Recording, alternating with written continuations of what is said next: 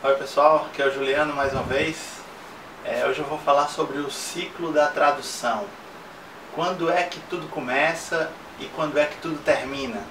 Quem são os atores envolvidos? Quais são os passos? Quais são os relacionamentos entre cada um deles? Então vamos dar uma olhada é, nessas etapas de uma por uma. Então, pessoal, vamos conhecer aqui o ciclo da tradução. Vou escrever aqui o título, o ciclo da tradução. Como é que tudo acontece? Bem, existe uma figura chamada cliente final, certo? O cliente final ele é quem precisa que uma tradução seja feita. Eu vou citar aqui alguns clientes finais cujos materiais eu já traduzi. Sony, Facebook,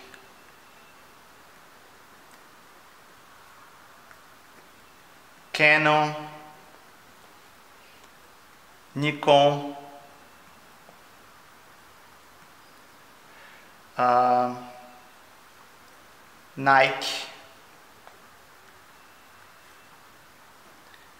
Disney, Nintendo,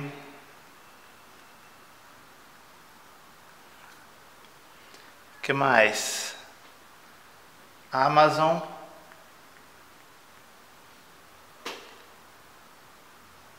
Siemens,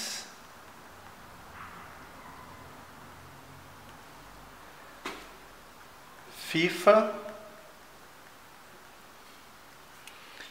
e vou citar aqui mais PlayStation.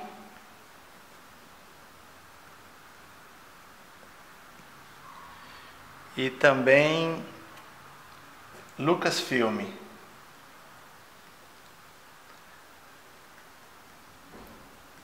Então, os clientes finais, normalmente eles são essas grandes empresas que precisam de traduções para várias línguas, né? É, eu vou mostrar aqui um diagrama de como é esse ciclo da tradução, é, que para mim é o que tem funcionado. Claro que ele pode variar um pouco, mas é, via de regra é dessa forma. Então esse cliente final ele precisa de uma tradução. Então ele vai contratar uma agência de tradução certo? Que existem aí milhares no mundo, né? Uma agência de tradução.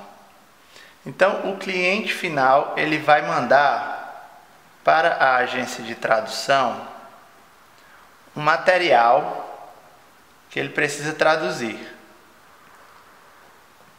Então, material original, vou dizer aqui certo? Material original que precisa ser traduzido. A, agência de tradução é importante nós sabermos que ela é formada por vários PMs. Quem são essas figuras dos PMs? O PM significa Project Manager, ou em português, gerente de projetos. Eu vou botar aqui o que é o PM. Em inglês é o Project Manager, ou em português é o gerente de projetos. Certo? Esses PMs são os responsáveis por essas contas aqui dos clientes finais certo? Então, ele precisa de um tradutor, né? Esse gerente de projeto, ele precisa de um tradutor. Como é que é feito o contato entre a agência e o tradutor?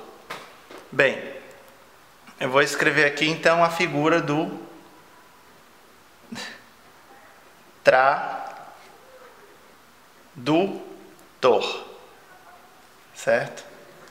Tradutor sou eu, é você, é a pessoa que vai traduzir esse material. Certo? Vocês podem verificar que esse cliente final aqui, como são empresas multinacionais, elas não vão contratar um tradutor diretamente, certo?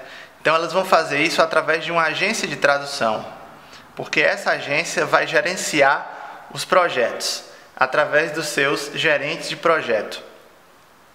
Então, essa agência de tradução pode publicar o seu trabalho num site na internet, certo?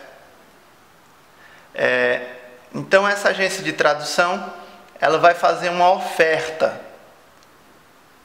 de um trabalho de tradução. Eu vou botar aqui oferta num site. Como eu mencionei para vocês, vou até escrever em vermelho, que é importante. Tem um site chamado Pros, que é um site que para mim funcionou muito bem para encontrar os meus clientes. Tem outros sites também parecidos com o PROS. Por exemplo, o Translators Café. Translators Café.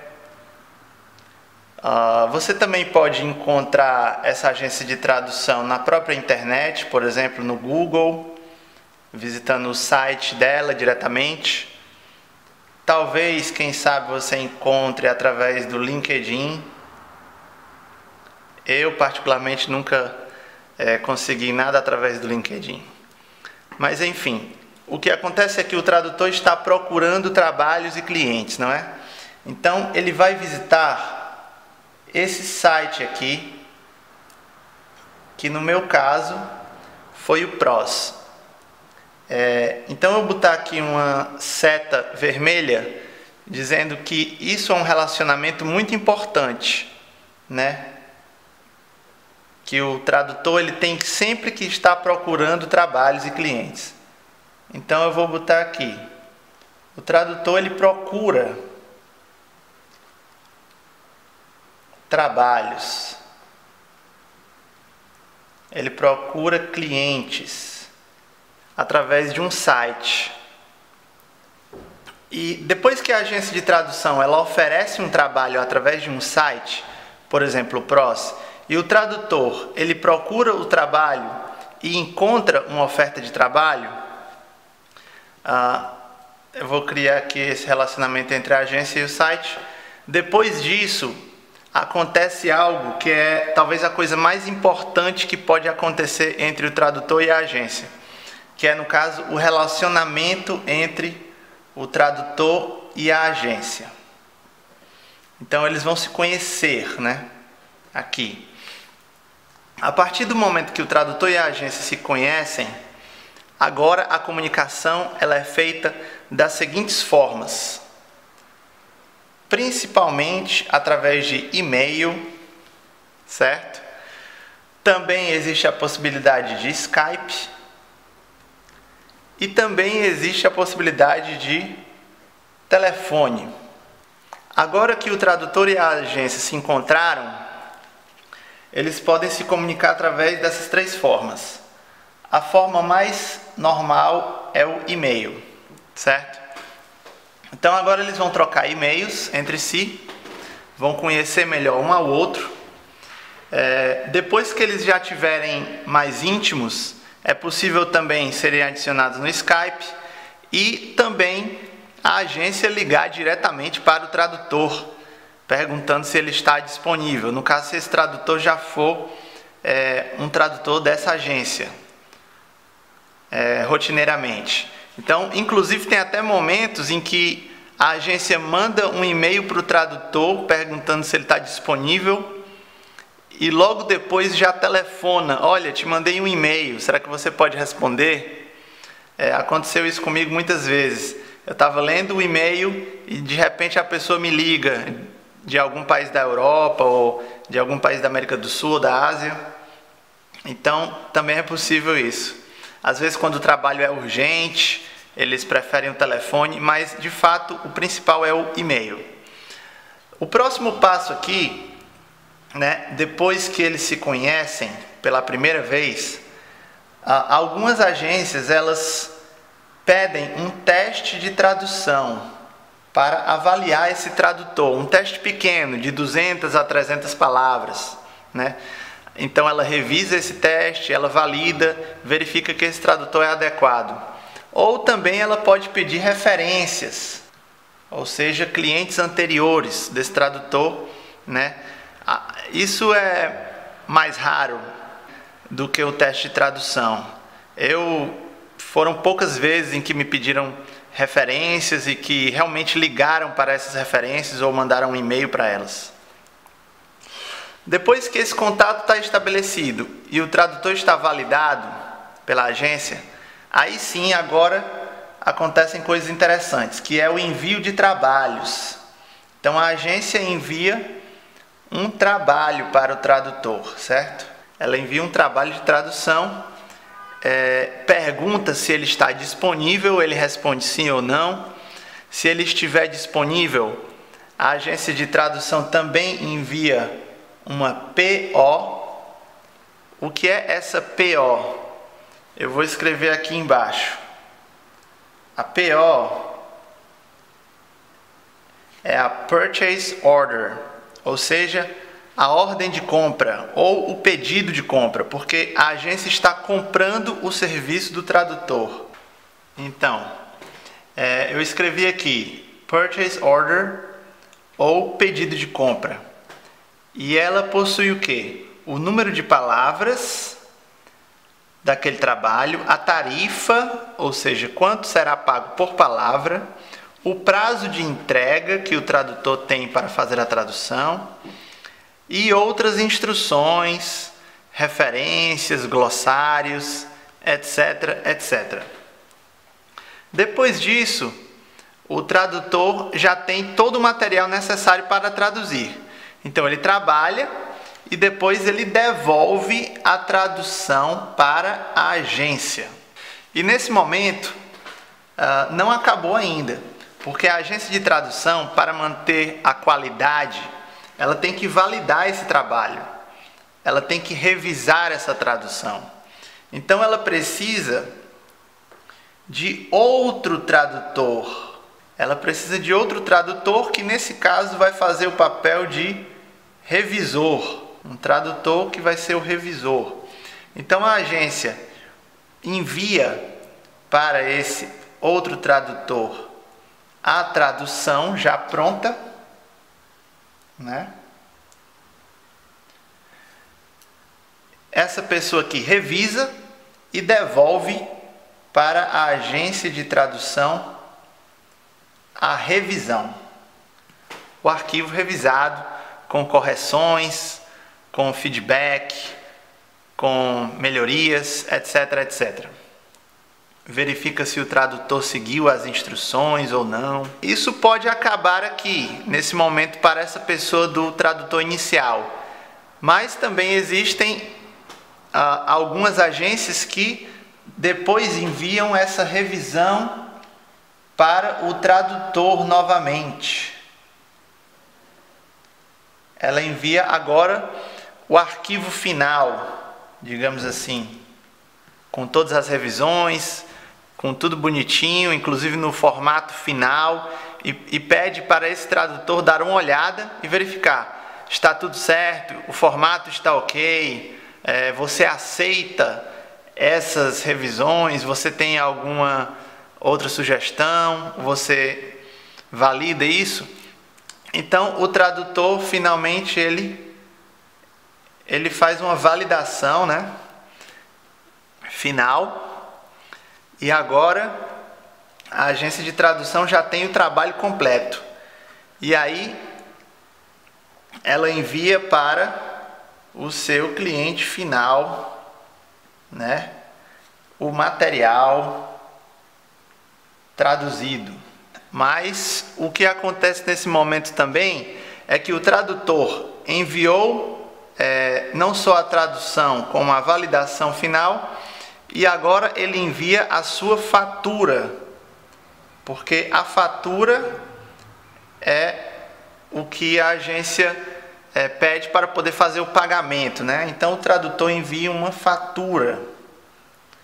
É o último passo do tradutor seria enviar a sua fatura. E o que que tem nessa fatura? Tem é, o número da, do pedido de compras, né?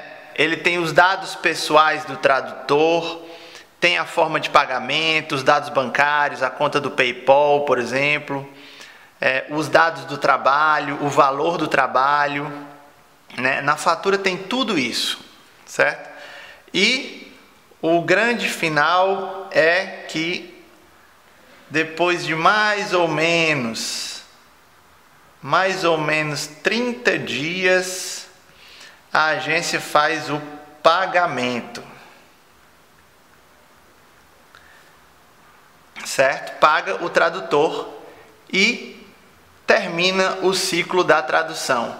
E daqui em diante, é, o que acontece é a partir dessa linha vermelha, porque agora já existe um relacionamento entre tradutor e agência.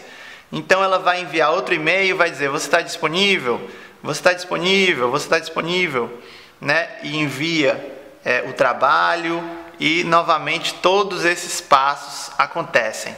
Então, pessoal, o principal aqui depois que você encontrar o trabalho e o cliente, é você fortalecer este relacionamento aqui, certo? Com o seu cliente, porque agora, para esse cliente, não existe mais isso, não existe mais.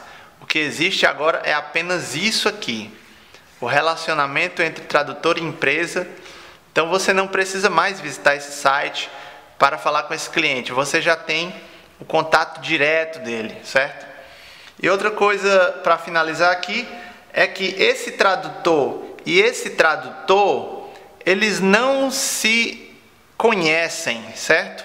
Normalmente eles não se conhecem, porque tudo é intermediado pela agência, né? Vai de um para o outro através da agência. Você não sabe quem é o seu revisor e nem o revisor sabe quem foi que traduziu até para dar uma imparcialidade, digamos assim. Existem sim, claro, alguns casos de agência que apresentam o tradutor e o revisor, né? É um, um relacionamento que eu diria que é um relacionamento fraco. Então eu vou botar aqui um pontilhado que é, é um relacionamento entre tradutor e revisor que pode acontecer ou não. Então eu vou dizer aqui, eles talvez sejam apresentados. Não é comum, normalmente não se conhecem, mas de vez em quando eles se conhecem. Então, pessoal, foi isso. Este é o ciclo da tradução. Espero que tenham gostado. Depois nós podemos é, analisar cada um desses relacionamentos mais aprofundadamente, inclusive olhar cada um desses tipos de documentos, então isso aqui é material para muitos vídeos e vamos em frente. E se estiverem gostando do canal, é, inscrevam-se, acompanhem e não percam. E também criei uma página no Facebook é, onde vocês podem acompanhar não apenas os vídeos, mas também é, outras postagens com fotos, com comentários, perguntas e respostas. Então acompanhe também pelo facebook.com barra viver de tradução. É isso aí, um abraço.